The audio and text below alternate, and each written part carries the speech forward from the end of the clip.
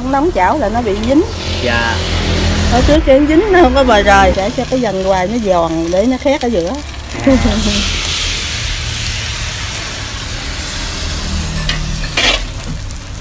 Thấy ở đồng đâu có ăn ờ, bán mắt quá người ta ăn không nổi.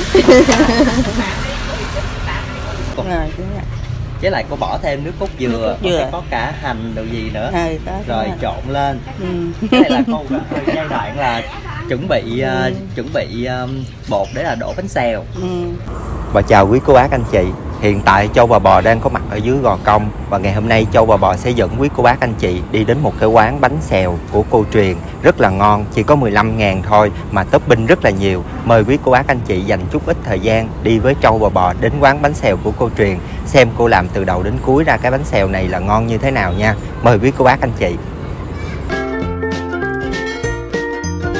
Cô Truyền ơi, tụi con là ở Sài Gòn xuống, tụi con kinh cho bò review. Tụi con rất là thích những cái món ăn mà dân dã miền Tây của mình. Thì à, con tụi con hên, tụi con qua, tụi con gặp cô đang làm bánh xèo luôn.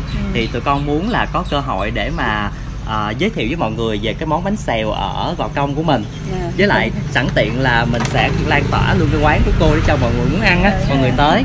Thì tụi con xin phép quay lại à, cô làm bánh xèo và à, giới thiệu về quán của cô nha Dạ. Cô, thì cô cũng bán bình thường. Dạ. Vậy Ờ. ờ, cô bán bánh xèo ở đây nè là cô bán ờ, khúc này gọi là khúc gì vậy cô? Ở đây là thuộc ấp Hưng Hòa xã Long Hưng. Dạ. Rồi Ờ. cô bán từ mấy giờ tới mấy giờ ạ? Cô bán trưa từ 11 giờ cô bán cho tới chiều. Dạ tối. tới chiều tối luôn. Chiều coi như tối. là khách tới là coi như người ta lại ăn là đổ bánh xèo ăn trực tiếp luôn. À, đó mới gọi là bánh xèo. Rồi mình bán là một cái là bao nhiêu vậy cô? 15 ngàn à thường thường mọi người á một lần ăn mọi người như vậy là bao nhiêu cái là vừa ạ? Thay, thay thì thường khoảng chừng hai cái là thấy no rồi. Dạ. Cô đang làm công đoạn gì vậy cô? Cô pha bột. À pha bột. Vâng. bánh xèo này mình pha bột khó không vậy cô? Cũng dễ bột bịch sẵn đó. Rồi Dạ. mình mua mình pha với nước cốt dừa. À dạ. Dạ trên cái gói này là người ta có nó có, Có chỉ vị là. Gia vị rồi à, À. nước như thế nào hết trơn rồi. Nhưng con thấy như cô trộn tới hai loại bột lại lần? À cô chọn hai thứ bột. Dạ. Cái gì ờ, cái gì ờ, cô bột hương, xưa với cô bột cái gì ờ, cái gì thuận đó. À hương xưa với lại bình thuận. À. Dạ hai loại bột trộn vô nên là Ừ. cái vị nó ngon hơn so với một loại đúng không cô? Rồi đúng rồi. Với lại cô bỏ thêm nước cốt dừa, Nước cốt có dừa. có cả hành đồ gì nữa. Rồi đúng rồi trộn lên. Ừ. cái này là cô giai đoạn là chuẩn bị Ừ. chuẩn bị à, bột để là đổ bánh xèo. Ừ. công nhận giờ tiện quá ha. Sẵn trong nè có sẵn À, trong cái bịch đó trong bịch có sẵn có luôn. sẵn trong bột nó có ờ, hết. Ừ, trong bột trong bột nó có bột nghệ rồi sẵn á. À. Rồi cái mình để vô. Công nhận giờ tiện quá ha. Ừ. mình cứ mua hai loại bột lại mình trộn lại là ra cái à, bột mà để à, đổ bánh nè xèo. có sẵn trong nè có sẵn À, trong cái bịch đó trong bịch có sẵn có luôn. sẵn luôn là có sẵn cả À, có hành với lại à, nghệ luôn để lên màu cho đẹp luôn. Rồi có sẵn luôn.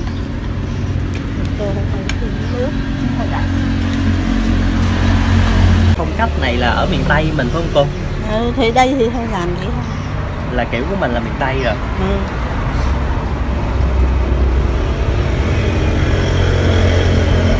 bột nó phải loãng như thế nào là vừa vậy cô? Cô nhắm không à? Cô nhắm nó vừa vừa cái tay Dạ. mình là cô đổ à. Coi như nó loãng loãng con thấy hình như cũng loãng Ừ, loãng đó là vừa chứ lên. đặc quá nó không ngon. Dạ. Đặc quá thì nó khô. Dạ. Cô bán à, bánh xèo này là lâu được lâu chưa cô? Nay chắc cũng bốn năm năm gì vậy wow. Ừ.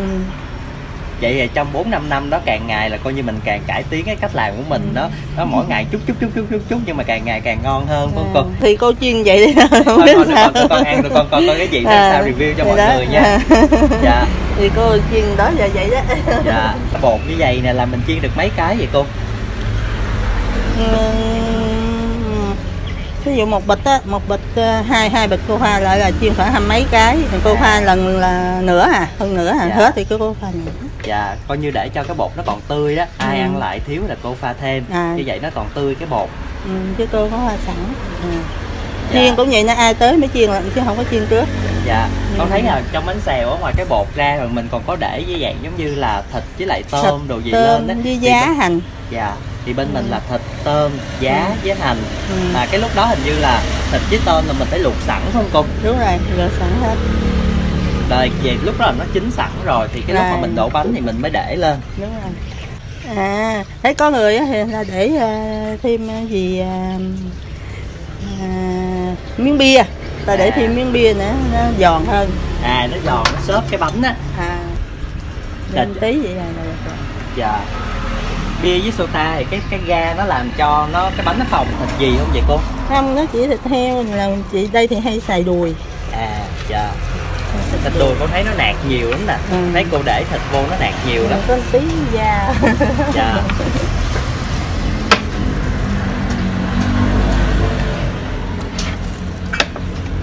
Rồi các bạn thấy nè là trong ờ, món của ờ, trong món bánh xèo của cô thì ờ, cô pha bột Rồi, liền rồi xong rồi thịt cũng là cắt liền. Là tạo thành cái ờ, chất bột bánh giòn mịn mà lại vàng nữa. Thì ở đây mình thấy có là bột ờ, nấu bánh ờ, bột để đổ bánh xèo hương xưa với lại bột đổ bánh xèo vĩnh thuận. Khi mà mình trộn hai cái nó lại á, thì cái hương vị nó ngon hơn phải không cô?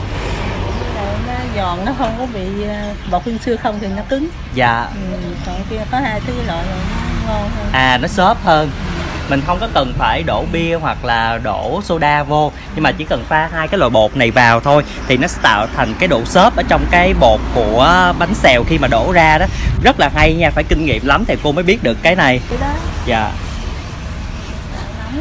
dạ từ từ từ từ thôi cô không sao hết công đoạn mà đổ bánh xèo á thường thường là làm như thế nào vậy cô thì cô rưới dầu vô trước vậy nè dạ à, một lần cô làm tới hai chảo lần rồi Dạ. hai chảo rồi chảo nóng vô cô để chế dầu vô cho để ướm cái chảo cho nóng mà không có bị dính ờ, một hồi nữa không bị dính bột. À thịt vô xào trước hả cô? Thịt tại nó chín rồi đó cái mình chỉ rưới nhẹ nhàng thôi. Dạ. Tôm. Tôm đây thì cô xài tôm nhỏ à chứ không xài tôm bự. Dạ. Tôm tại đây cô bán ờ, có 15 ngàn còn có người thì bán 20 dạ coi như tùy theo cái giá tiền mà mình Dạ, à, đông cái topping cho nó phù hợp. Ừ. nên ở đây là 15 ngàn đó là tôm. Thiệt ra con thấy lại cũng là vừa á cô À, còn có thịt nữa. Rồi và mình để mình để lên cho nóng tôm Tôm với thịt. nóng. Dạ. nóng chảo cái mình rưới lên nó mới dính không thôi Dạ. là nó bị ờ, chảy. Dạ cái bánh xèo á được gọi là bánh xèo bởi vì là rưới rưới bột lên là nó xèo xèo xèo xèo. Chảo nóng rồi xong rồi À, lúc mà rưới bột lên là coi như là phải ờ, các bạn nhìn cô làm nè. Khi mà cô chuẩn bị rưới bột lên đó là chảo nóng rồi cô rưới lên là coi như phải là đảo cái đảo cái chảo liền để tạo thành cái lớp mỏng của bánh xèo đó. Cái đó là cái quan trọng nhất không cô? À, còn thôi nó không nóng chảo là nó bị dính. Và nó chảo phải thiệt là nóng luôn. Để mà cô đảo cái lớp bột nè nó mới tạo thành một cái lớp Ừ. mỏng của cái bánh xèo thì nó mới giòn được.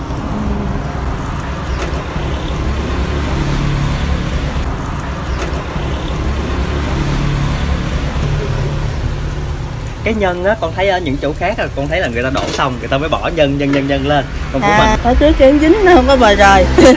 còn còn người ta thì để vậy thì nữa rồi mình nữa mình ăn thì nó bị trời ra. À nó dễ bị ờ, giống như là cái lúc mà kéo cái, cái lớp ờ, bột bánh xèo á nó Ừ. bị rời cái nhân ra À. còn mình để như vậy thì là nó sẽ Dính dính trong vô luôn. trong cái bột luôn nó không rồi bị nó rời không ra rời ra nó tức là cô làm nhiều rồi cô mới nhận ra được vậy đó Ừ, thì đó giờ cô chuyên vậy không à, À.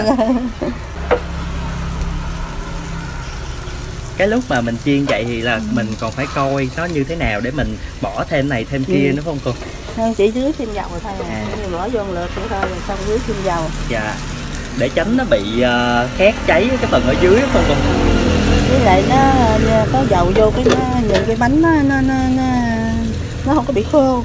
Dạ. Nhìn nó mướt mướt mắt thôi. Ừ. bánh xèo cũng thấy lớp bột mỏng nên là nhanh quá ha. Ừ. Ủa, sao con thấy cô là phải lại nghiêng cái chảo như vậy nữa? Để cho cái dành hoài nó giòn để nó khét ở giữa. À. rồi phải cẩn thận quá ha chứ không thôi là nó không có đều cái bột ừ. ở dưới mà mình phải canh coi coi là nó còn chỗ nào chưa chín để mà Đó, mình, mình quay trở. dạ.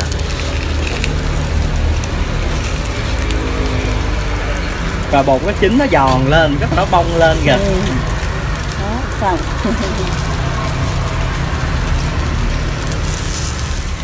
Rồi cô chuẩn bị.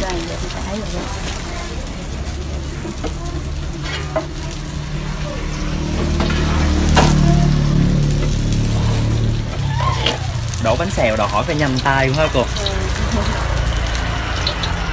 Rồi xong cô để là dĩa.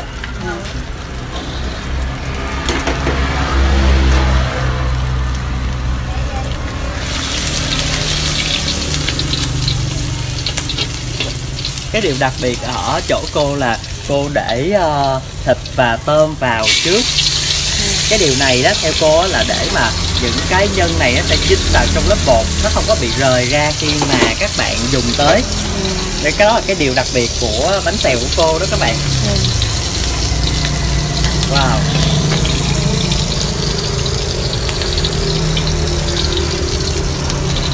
Bánh xèo đảo thì là coi như chảo phải thiệt là nóng luôn. Ừ. các bạn này nóng nè nó là đảo tới đâu là xèo tới đó cái tiếng xèo nó rất là vui tai nên là ai nghe tới là cũng biết là đặc trưng của bánh xèo. Và cái lúc mà xèo lên là cái cái mùi cái hương nó còn bốc tỏa ra nghi nghi ngục nữa. Rồi bỏ thêm một chút xíu ờ, giá với hẹ nữa lên là coi như là mình giá với hành. Dạ là mình xong được một cái chiếc bánh xèo. Mình biết nó thiệt ra cô cũng Ừ. cô, cô cũng rất là là là thật tình bởi vì ở đây là mình đang ở ở miền ờ, quê luôn chính gốc luôn nên là mọi người là chỉ biết là coi như là ở đây thì mình làm bánh xèo ở đây đúng không cô là người làm bánh xèo miền tây. Nên là ờ, các bạn thấy bánh xèo miền tây á là người ta bỏ topping nhiều và cái cái độ rộng của bánh xèo á nó rất là to có người ta để ờ, đậu xanh nữa coi như tùy theo cái giá thành mà mình Ừ, mà mình đó. bỏ cái topping cho nó phù hợp với lại Dạ. cái ờ, cái cái chi phí mình bỏ ra Ờ, ờ, mà mình chiên mà mình đổ bánh xèo như vậy nè là Ừ. phải để cho bánh xèo luôn luôn là nó mướt mướt mướt mướt nên là phải đổ dầu vô thêm ừ, để rồi nó mới được. còn cái lúc mình canh đó là biết làm sao là vừa để mà không có bị khét vậy cô à, mình nhìn nó hơi vàng á là mình biết rồi. Với lại nhìn cái cái bánh nó hơi bông lên là mình biết. À ừ. con thấy là vàng á con nhận ra con thấy nó vàng. Lúc mà nãy giờ là nó đã vàng rồi Ừ. nhưng mà con thấy là nó hơi bông ra rồi mình dễ Ừ, nhận ra nhất đó, thì đó nó bông lên vậy nè lạ ha cái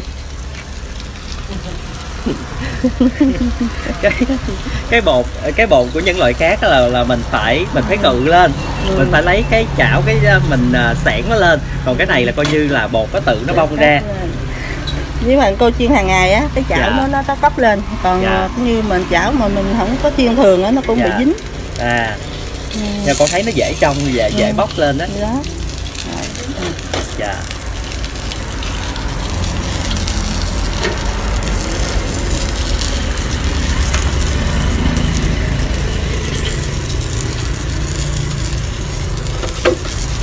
và khi mà đổ xong cái nắp mình đậy lại á là nó sẽ chín hết cái lớp ở dưới lớp ở à, trên. luôn. giờ chỉ canh nó giòn thôi. Dạ.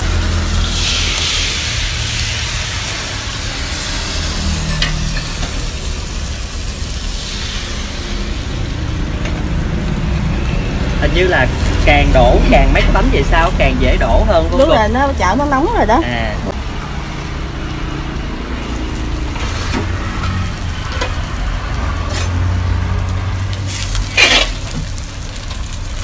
cái bánh xèo được à, cái là khác với lại những cái loại bánh khác là mình làm nó nhanh đó cô coi như là quan trọng nhất là khách tới thôi là coi như bánh xèo là nóng lên ăn liền.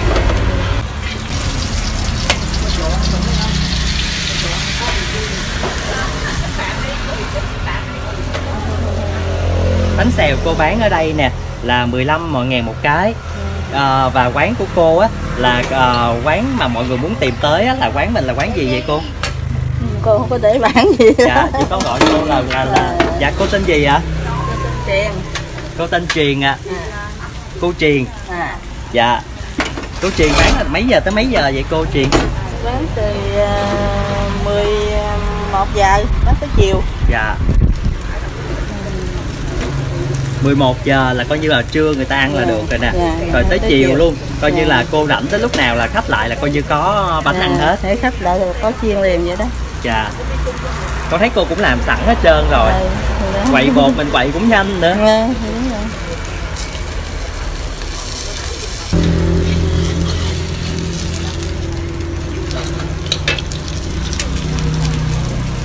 rồi một cái bánh xèo to mà giòn rụm nóng hổi luôn.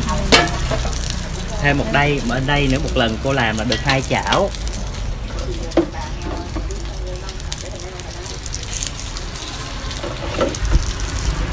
Cái lúc mà mới làm nó có khó lắm không cô? Con thấy cái này đòi hỏi phải quen tay nè. Làm riết quen.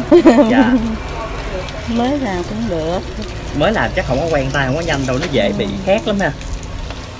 Có người ta đặt uh, 20 ngàn hoặc Dạ. 25 ngàn cái thì Dạ. mình giá để đó thì mình thêm thịt thêm tôm. Dạ còn này là cô bán đại trà cho ai ăn cũng được dạ, hết 15 ngàn cái 15 ngàn cái Dạ. ở đây ai ăn vậy cũng dễ hết hả cô thì mình đó. cũng dễ bán nữa Thế ở đồng đâu có ăn ờ, bán mắc quá người ta ăn không nổi Ờ, bán của bình dân vậy đó Dạ. Bánh xèo thì là mình phải ăn với lại à, rau cải, xà lách. Đó, mình ăn như thế này nè các bạn. Và lúc mà lột ra thì các bạn sẽ thấy là cái nhân của bánh xèo á, nằm ở trong. Còn cái vỏ rất là giòn. Vàng luôn nha. Rồi. Rồi sau đó cuộn lại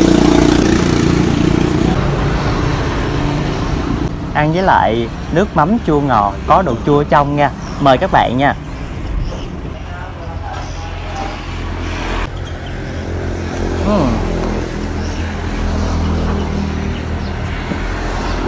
vị nước cốt dừa đặc trưng của bánh xèo hòa với lại cái hương vị thơm của rau thơm. Ăn ở đây mà giữa cảnh sông nước đó, phải nói là bá đạo luôn rất là ngon béo giòn thơm còn nóng nữa. Nên có dịp mà xuống miền Tây ghé hàng Gò Công thì các bạn hãy ghé quán bánh xèo của cô Truyền ở đây nha. Cô bán cũng rất là dễ tìm. Nên là ghé ngang ăn một lần đi để nhớ mãi cái món bánh xèo miền Tây này. Nãy giờ con tụi con được cô cho ăn à, bánh xèo rồi xem cô à, đổ bánh xèo nữa rất là ngon luôn. Thì mọi người nhìn á mà mọi người thấy ngon quá muốn lại quán ủng hộ cô thì cô có lời nào nhắn gửi hoặc là mời mọi người tới quán của cô không ạ? À, thì cô bán đây là giá bình dân 15 Dạ. ngàn cái thì ai có ăn tới ủng hộ cho cô. Dạ. nên là nếu như mà các bạn nào có xuống gò công thì hãy ghé quán của truyền để ủng hộ cho ờ, quán của cô nha. Ăn bảo đảm rất là ngon luôn bởi vì bột thì giòn nước mắm thì ngon rau thì tươi và sạch nữa. Cảm ơn mọi người nha. Mình chào mọi người một tiếng nha cô. chào mọi người nha. Nào có ghé ủng hộ. Dạ.